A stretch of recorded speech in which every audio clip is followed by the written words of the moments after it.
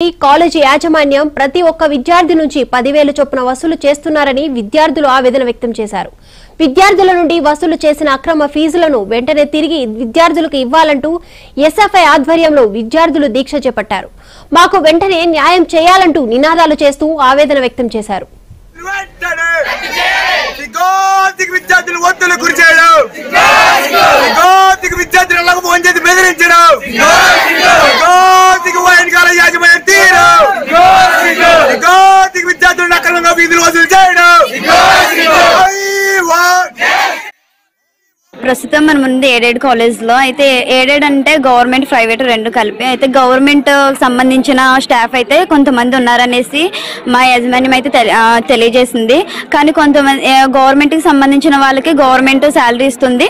మాకైతే కొంతమంది ప్రైవేట్గా వచ్చిన వాళ్ళు ఉన్నారు. వాళ్ళకైతే మేమైతే శాలరీ ఇవ్వలేము. గవర్నమెంట్ కూడా ఇవ్వట్లేదు. కాబట్టి శాలరీ ఎక్కడి నుంచి ఇవ్వాలంటే మేము మీ దగ్గర నుంచి మేము తీసుకోవాలనేసి యాజమాన్యం అయితే అంటున్నారు. కానీ మా పేరెంట్స్ కూడా కూలి పనికి వెళ్తేనే కానీ ఫీజు అనేది మేము కట్టుకోలేము. ప్రస్తుతం మేము ఉన్న ఎనిమిది వేలు మేము కట్టాలి కానీ పన్నెండు వేలు అలాగా తీసుకుంటున్నారు. కొంతమందికి అయితే twenty four thousand twenty eight thousand అట్లా కూడా తీసుకుంటున్నారు. ఎవరైనా సరే ఎవరి పేరెంట్స్ అయినా సరే ఏ రోజు పనికి వెళ్తేనే వాళ్ళు ఫీజు అనేది మాకు చెల్లించాల్సి ఉంటుంది కట్టాల్సి ఉంటుంది.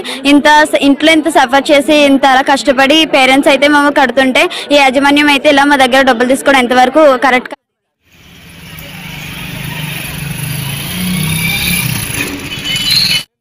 ప్రస్తుతం మన రాష్ట్ర ప్రభుత్వం డిగ్రీ విద్యార్థులకు అడ్మిషన్ ప్రాసెస్ని ఫీజు రెగ్యులేటరీ కమిటీ ఏర్పాటు చేసి దాన్ని బట్టి మనకి డిగ్రీ అడ్మిషన్లు అనేవి తీసుకోవడం జరిగింది.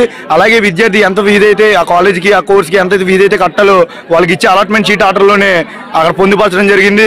కానీ నేడు వైన్ కాలేజీలో వాటిని ఫాలో అవ్వకుండా గవర్నమెంట్ రూల్స్ని కూడా తిరస్కరిస్తూ విద్యార్థుల దగ్గర నుంచి అదనంగా ఐదు వేలు ఎనిమిది వేలు పదివేల రూపాయల వరకు ఎక్స్ట్రాగా కట్టించుకుని నడుపుతున్నారు. కట్టని విద్యార్థుల్ని సెమిస్టర్కి అలౌ చేయమంటూ అలాగే పరీక్షలు రాయనివ్వమంటూ బెదిరింపులకు గురి చేస్తున్నారు. దీన్ని నిలదీసే విద్యార్థుల్ని మీ ఎగ్జామ్స్ ఆపేస్తాం మీ సర్టిఫికెట్లు ఆపేస్తామంటూ బెదిరింపులు బెదిరింపులకు దిగుతున్నారు అదేవిధంగా ఇప్పుడు స్టూడెంట్స్ అందరూ కూడా ఈ నెక్స్ట్ ఆగస్టులో సెమ్ రాయాల్సి ఉంది. ఇదే విధంగా ఒకసారి లాస్ట్ టైం జరిగిన సెమిస్టర్కి రిపీట్ అయింది. దానికి మనం సబ్ కలరేట్ చేసాం.